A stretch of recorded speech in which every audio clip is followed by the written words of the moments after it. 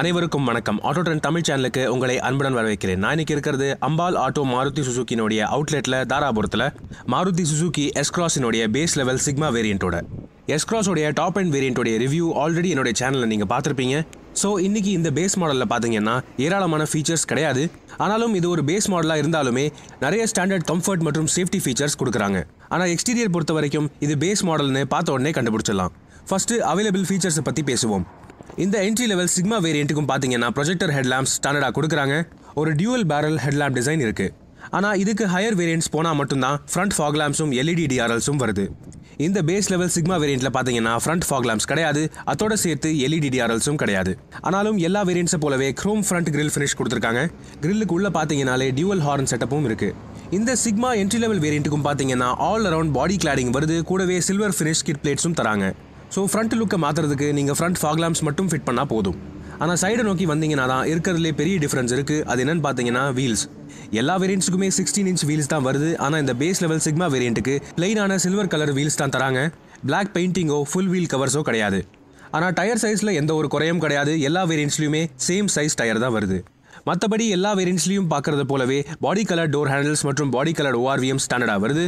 கூடவே side body கிளாடிங்குக்கும் silver finish kit place கொடுத்துருக்காங்க. ஆனால் இந்த பேஸ் லெவல் மாடலில் மட்டும் ரூஃப் ரேல்ஸ் கிடையாது. பேக் சைடு நோக்கி பார்த்தீங்கன்னா எல்இடி டைல் லேம்ப்ஸ் இந்த பேஸ் லெவல் மாடலுக்கு மட்டும் வராது. நார்மலான ஹாலோஜன் பல்ப்ஸ் தான் வருது. எல்லா பிஎஸ் சிக்ஸ் கம்ப்ளைண்ட் எஸ்கராஸ்க்கும் பார்த்தீங்கன்னா smart hybrid mild hybrid technology ஸ்டாண்டர்டாக கொடுத்துருக்காங்க. One point five litre petrol இன்ஜினோட சேர்த்து.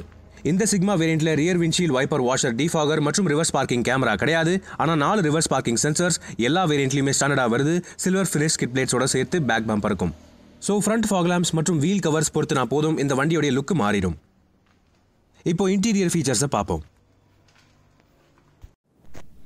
எஸ் ஃப்ரெண்ட்ஸ் இப்போ நான் இருக்கிறது மாருதி சுசுக்கி எஸ் கிராஸினுடைய பேஸ் லெவல் சிக்மா வேரியண்ட்டுக்கு உள்ள. ஸோ இது பேஸ் லெவல் மாடலாக இருந்தாலுமே ஸ்டாண்டர்டாக நிறைய ஃபீச்சர்ஸ் கொடுக்குறாங்க. என்னென்னங்கிறது இப்போ டீட்டெயிலாக எக்ஸ்பிளைன் பண்ணுறேன் ஃபர்ஸ்ட் ஆஃப் ஆல் ஸ்டீரிங் வீலை பற்றி பேச போனால் இது ஒரு பழைய டிசைன் சுசுக்கி ஸ்டீரிங் வீல் தான்.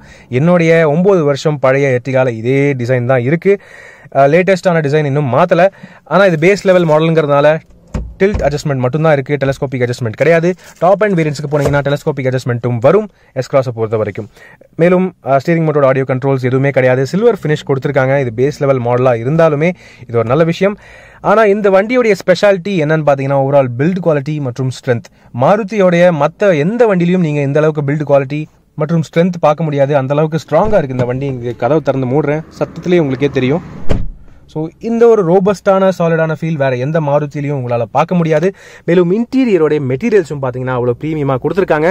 ஃபார் எக்ஸாம்பிள் இந்த பேஸ் லெவல் மாடலில் கூட சாஃப்ட் டச் பிளாஸ்டிக்ஸ் கொடுத்துருக்காங்க டேஷ்போர்டோட சென்டரில் ஸோ அவ்வளோ சாஃப்டாக இருக்குது இப்போ பார்த்தீங்கன்னா நல்ல சாஃப்டான குஷன் டைப்பில் இருக்குது இன்ஃபேக்ட் சொல்ல போனால் நல்ல ப்ரீமியமாக இருக்குது வேறு எந்த வண்டியிலும் இந்த அளவுக்கு ஒரு பில்ட் குவாலிட்டி மற்றும் ப்ரீமியம் நெஸ்ல அட்டென்ஷன் டு டீடைல் நான் பார்த்தது கிடையாது எஸ்பெஷலி பேசிக் மாடலில் டேஷ்போர்டை பார்த்துட்டோம். ஸோ டோர் பேட்ஸ்லையும் பார்த்தீங்கன்னா பேஸ் லெவல் மாடலில் கூட இந்த குஷனோட சேர்த்து ஃபேப்ரிக் ஃபினிஷிங் கொடுத்துருக்காங்க ஃபேப்ரிக் பேடிங் கொடுத்துருக்காங்க. சாஃப்டான ஃபீல் நல்லா இருக்குது மேலும் அதை தவிர பார்த்தீங்கன்னா கூடுதல் ஒரு ஆம்பியன்ஸுக்காக சில்வர் ஃபினிஷ் கொடுத்துருக்காங்க. டோர் பேட்ஸ்லையும் சரி ஏசி வென்ட்ஸ் சரௌண்ட்ஸ்லையும் சரி. நல்லா இருக்கு. ஓவரால் இன்டீரியரோட ஆம்பியன்ஸ் ஃபீச்சர்ஸ் மட்டும்தான் குறை. அதாவது இங்கே சென்டரில் ஆடியோ சிஸ்டம் கிடையாது. அது மட்டும்தான் குறையே தவிர மற்றபடி மெட்டீரியல் பில்ட் குவாலிட்டியில் ஃபினிஷில் ஃபீலில் எந்த ஒரு குறையும் கிடையாது. ஸோ உண்மையாகவே எஸ்கிராஸினுடைய material quality interior build quality மீதி எந்த மாருதியை விடவும் கொஞ்சம் ஜாஸ்தி தான். இப்போ ஃபீச்சர்ஸ் அப்படின்னு பேசணும்னா டிரைவர் டோரில் பார்த்தீங்கன்னா ஆல் ஃபோர் பவர் விண்டோஸ் இருக்குது மேலும் ஆட்டோ ஒன் டச் டவுன் மற்றும் ஒன் டச் அப் ஃபங்க்ஷனும் இருக்குது டிரைவர் விண்டோ பொறுத்த வரைக்கும் அதை நான் உங்களுக்கு டெமான்ஸ்ட்ரேட் பண்ணுறதுக்காக ஃபஸ்ட்டு வண்டியை ஸ்டார்ட் பண்ணுறேன் ஸோ இந்த இதுதான் இந்த வண்டியோடைய சாவி. என்னுடைய எத்திகா போலவே தான் எக்ஸாக்ட்லி சேமாக இருக்குது இந்த சாவி. சாவியில் எந்த ஒரு மாற்றமும் பண்ணல. கிட்டத்தட்ட பத்து வருஷமாக இதே சாவி தான் யூஸ் பண்ணுறாங்க பத்து வருஷத்துக்கு மேலேயே மாருதி சுசுக்கியினுடைய பல மாடல்களில் இதே சாவி தான் யூஸ் பண்ணுறாங்க ரிமோட் சென்ட்ரல் லாக்கிங்க்கு ஸோ இதை உள்ள ஸ்டார்ட் பண்ணிவிட்டு என்ஜினை ஸ்டார்ட் பண்ணுவோம். ஸோ அப்படியே என்ஜினை ஸ்டார்ட் பண்ணிவிட்டு ஏசி ஆன் பண்ணுவோம். கொஞ்சம் வெயில் ஜாஸ்தியாக இருக்குது ஸோ ஏசி கூலிங் பற்றி எந்த ஒரு கவலையும் கிடையாது. ஆனால் என்னென்னா எஸ்க்ராஸினுடைய எந்த வேரியண்ட்லையுமே ரியர் ஏசி வென்ட்ஸ் கிடையாது. ஸோ ரியர் ஏசி வென்ட்ஸ் அப்படின்னு பேச போனால் இந்த பேஸ் லெவல் மாடலில் சென்டர் ஆம்ரெஸ்ட்டும் கிடையாது.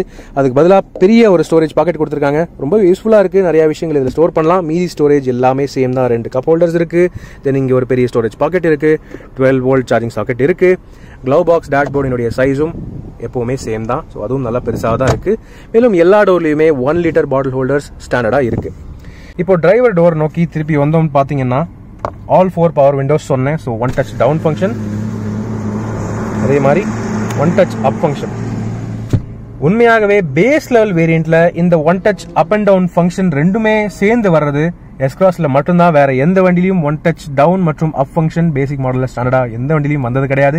இது உண்மையாகவே சூப்பர் அது தவிர பார்த்தீங்கன்னா எலக்ட்ரானிக்லி அட்ஜஸ்டபிள் ஓஆர்விஎம்ஸ் ஸ்டாண்டர்டாக வந்துடுது ஸோ சூப்பர் உண்மையாகவே. ஆனால் என்னென்னா இந்த வண்டியில் ஃபாக் லேம்ப்ஸ் மற்றும் alloy wheels wheel covers audio system இந்த மாதிரி எந்த ஃபீச்சர்ஸ் வேணும்னாலும் நீங்கள் தான் பொருத்திக்கணும். இந்த ஃபீச்சர்ஸ் எல்லாமே இந்த பேஸ் லெவல் மாடலில் கிடையாது. இந்த எஸ்க்ராஸினுடைய என்ஜினை பற்றியும் ஒரு ஸ்பெஷாலிட்டி இருக்குது அது என்னன்னு பார்த்தீங்கன்னா இது வந்து one point five litre K series four cylinder mild hybrid டெக்னாலஜியோட petrol engine இது. ஸோ இது வந்து நூற்றி அஞ்சு பிஎஸ் மேக்ஸிமம் பவர் ப்ரொடியூஸ் பண்ணுது. கூடவே பார்த்தீங்கன்னா மைல்டு ஹைப்ரிட் ஸ்மார்ட் ஹைப்ரிட் டெக்னாலஜியும் வருது. அது என்ன பண்ணுன்னு பார்த்தீங்கன்னா பேசிக்கலாக நீங்கள் சிக்னலில் போனீங்கன்னா ஆட்டோ என்ஜின் ஸ்டார்ட் ஸ்டாப் ஃபங்க்ஷனை எங்கேஜ் பண்ணி கொடுக்கும். அதோட சேர்த்து ரீஜென்ரேட்டிவ் பிரேக்கிங் மூலமாக ஐஎஸ்ஜிங்கிற அந்த ஜென்ரேட்டருடைய பேட்டரிக்கு கூடுதல் பவரை வந்து பூஸ்ட் பண்ணி கொடுக்கும். ஒவ்வொரு தடவையும் ஆக்சிலரேஷன் பண்ணும்போது அடிஷனலாக உங்களுக்கு ஒரு பூஸ்ட் தரும். பவருக்காக ஸோ இது ஒரு நல்ல அடிஷனல் ஃபீச்சர் ஸ்மார்ட் ஹைப்ரிட் அதாவது மைல்டு ஹைப்ரிட் டெக்னாலஜி அப்படின்னு சொல்லலாம். அதுக்கான auto engine start stop button வந்து இங்கே ஸ்டீரிங் வீலுக்கு ரைட் சைடில் இருக்குது இது வேணும்னா நீங்கள் ஆன் பண்ணிக்கலாம் வேணாம்னா ஆஃப் பண்ணிக்கலாம். ஸோ அந்த ஃபங்க்ஷனுக்கான பட்டன் அது.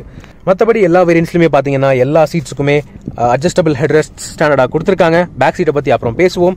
ஆனால் என்னன்னா இந்த பேஸ் லெவல் வேரியண்ட்டுக்கு டிரைவர் சீட்டுக்கு ஹைட் அட்ஜஸ்ட்மெண்ட் கிடையாது. இது அஃப்கோர்ஸ் எதிர்பார்த்தது தான் மற்றபடி எல்லாமே ஓகேவாக இருக்குது இன்டீரியர் குவாலிட்டி நிஜமாவே சூப்பராக இருக்குது மேலும் ஃபீச்சர்ஸும் போதுமான அளவுக்கு இருக்குது ரூஃபை நோக்கி வந்தோம்னா டே நைட் அட்ஜஸ்டபிள் ஐஆர்விஎம்க்கு சுவிட்ச் இருக்குது தென் வேனிட்டி மிரர் பொறுத்த வரைக்கும் டிரைவர் சைடு கிடையாது. பேசஞ்சர் சைடு மட்டும் மிரர் இருக்குது மேலும் இண்டிவிஜுவல் கேபின் லைட்ஸ் ஃப்ரண்ட் பேசஞ்சர்ஸ்க்கு தனித்தனியாக கொடுத்துருக்காங்க. அதோட சேர்த்து இங்கே சென்ட்ரலி மவுண்டட் எல்லோ கேபின் லைட்டும் ஒன்று ஸ்டாண்டர்டாக வருது. மீதி சேஃப்டி ஃபீச்சர்ஸ் எல்லாமே பேச போனா dual air bags ABS with EBD all wheel disc brakes மற்றும் ஐசோஃபிக்ஸ் சைல்ட் சீட் மவுண்ட்ஸ் எல்லா வேரியன்ட்ஸ்லுமே ஸ்டாண்டர்டாக அவைலபிளாக இருக்கு. ஸோ இப்போ நம்ம பேக் சீட்டுக்கு போய் பார்ப்போம். இதுதான் ஃப்ரெண்ட்ஸ் மாருதி சுசுகி எஸ் கிராஸினுடைய சிக்மா வேரியண்டோடைய டேஷ்போர்ட் வியூ பேக் சீட்ல இருந்து பார்க்கும்போது. ஸோ ஓவராலாக பார்த்தீங்கன்னா கொஞ்சம் ஒரு பழைய சிம்பிளான ரொம்பவே அந்தளவுக்கு ஃபீச்சர்ஸ் இல்லாத ஒரு டேஷ்போர்டாக இருந்தாலுமே நிறைய ஸ்டாண்டர்ட் ஃபீச்சர்ஸ் இருக்கு. ஆனால் மெயினான விஷயம் இன்டீரியர் குவாலிட்டி மற்றும் ஃபிட் அண்ட் ஃபினிஷ் ரொம்பவே சூப்பராக இருக்கு. மேலும் ப்ரீமியமாக சாஃப்ட் டச் பிளாஸ்டிக்ஸ் எல்லாம் கொடுத்துருக்காங்க டேஷ்போர்டுக்கு மேலே. ஸோ இது உண்மையாகவே ஒரு ப்ரீமியமான ஒரு கிராஸ் ஓவர் ஸ்டைல் வெஹிக்கிள் இது பேக் சீட்டோடைய கம்ஃபர்ட் மற்றும் ஸ்பேஸை பற்றி பேச போனால் முன்ன போல் எக்ஸாக்ட்லி சேமாக தான் இருக்குது லெக் ரூம் ரொம்ப சூப்பராக நல்லா ரொம்பவே தாராளமாக ஸ்பேஷியஸாக இருக்குது டிரைவர் சீட்டை என்னுடைய ஹைட்டுக்கு அட்ஜஸ்ட் பண்ணியிருக்கேன் அஞ்சு அடி பதினோரு அங்குலம் என்னுடைய ஹைட் ஸோ என்னுடைய ஹைட்டுக்கு அட்ஜஸ்ட் பண்ணியிருக்கேன் அப்படி இருந்தும் இவ்வளோ லெக் ரூம் இருக்குது எனக்கு தாராளமாக கால் மேலே கால் போட்டு கூட உட்காரலாம். அது மட்டும் இல்லாமல் அண்டர் தாய் சப்போர்ட் ரொம்பவே நல்லா இருக்குது ஸ்பேஸ் ரொம்பவே சூப்பராக இருக்குது இன்ஃபேக்ட் மூணு பீப்புள் இங்கே உட்காந்து ட்ராவல் பண்ணுறது கூட எந்த ஒரு பிரச்சனை கிடையாது. ஏன்னா நல்ல அகலமான கேபின் தான் இது. அதோடு சேர்த்து ரெண்டு பேசஞ்சர்ஸ்க்கு அட்ஜஸ்டபிள் ஹெட்ரெஸ்ட் இந்த பேஸ் லெவல் மாடலுக்கும் ஸ்டாண்டர்டாக கொடுத்துருக்காங்க. இது உண்மையாகவே பாராட்டப்படக்கூடிய விஷயம். அதோட சேர்த்து ஐசோஃபிக்ஸ் சைல் சீட் மவுண்ட்ஸ் எல்லா மாருதி சுசுக்கினுடைய லேட்டஸ்ட் கார்களுக்கும் நெக்ஸாவுடைய கார்களுக்கும் ஸ்டாண்டர்டாக வருது இப்போது பேஸ் லெவல் மாடலில் கூட. ஃப்ரண்ட் டோர்ஸில் பார்த்தது போலவே பேக் டோர்ஸுக்கும் சாஃப்ட் ஃபேப்ரிக் பேடிங் கொடுத்துருக்காங்க குஷனிங்கோட சேர்த்து. கூடவே அலுமினியம் ஃபினிஷும் கொடுத்துருக்காங்க டோர் பேட்ஸில் ஆனால் எந்த வேரியண்ட்லையும் எஸ் கிளாஸை பொறுத்த வரைக்கும் ரியர் ஏசி வென்ட்ஸ் கிடையாது. அதுக்கு பதிலாக இந்த பேசிக் மாடலில் ஆம்ரெஸ்ட்டுக்கு பதிலாக இங்கே ஒரு பெரிய சைஸ் ஸ்டோரேஜ் பாக்கெட் கொடுத்துருக்காங்க. மேலும் இங்கே ரூஃபில் இந்த சென்டர் கேபின் லைட் எல்லாருக்குமே ஈக்குவலான லைட் தருது. ஆனால் ஒரு நோட்டபிளான ஒரு விஷயம் என்னன்னு பார்த்தீங்கன்னா டிரைவர் மற்றும் ஃப்ரண்ட் பேசஞ்சருக்கும் அட்ஜஸ்டபிள் சீட் பெல்ட்ஸ் கொடுத்துருக்காங்க. ஹைட் அட்ஜஸ்ட்மெண்ட் இந்த பேஸ் லெவல் மாடல்லே வருது.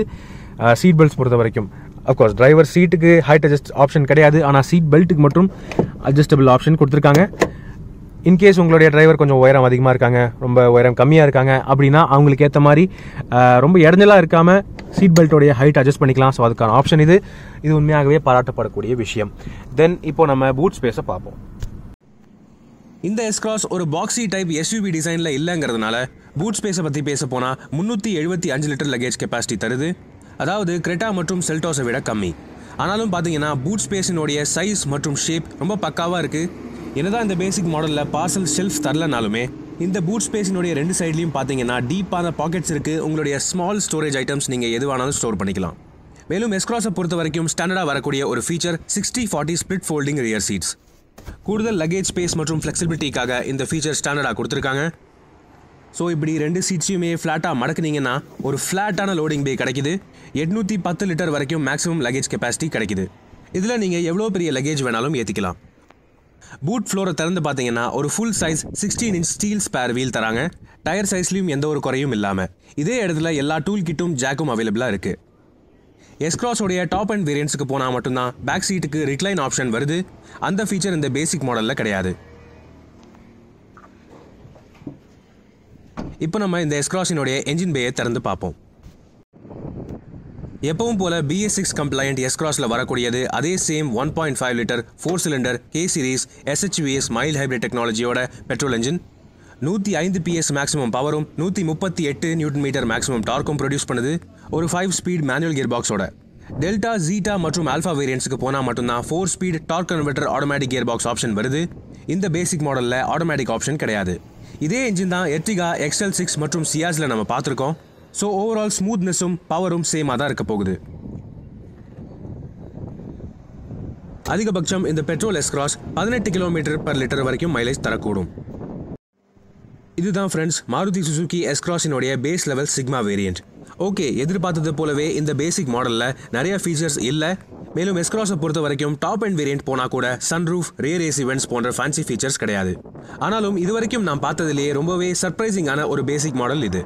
ஏன்னு பார்த்தீங்கன்னா அத்தியாவசியமான ஃபீச்சர்ஸ் எல்லாமே சேர்த்து அருமையான இடவசதி மற்றும் கம்ஃபர்ட் இந்த எஸ்கிராஸ் பேஸ் மாடலில் நீங்கள் பார்க்கலாம். ஆனால் மெயினான ஹைலைட் என்னன்னு பார்த்தீங்கன்னா இதுவரைக்கும் எந்த ஒரு மாருதி கார்லையும் பார்க்க முடியாத பில்ட் குவாலிட்டி மற்றும் இன்டீரியர் ஃபீல் பத்து லட்சம் ரூபாய்க்கு உள்ளேயே கிடைக்குது.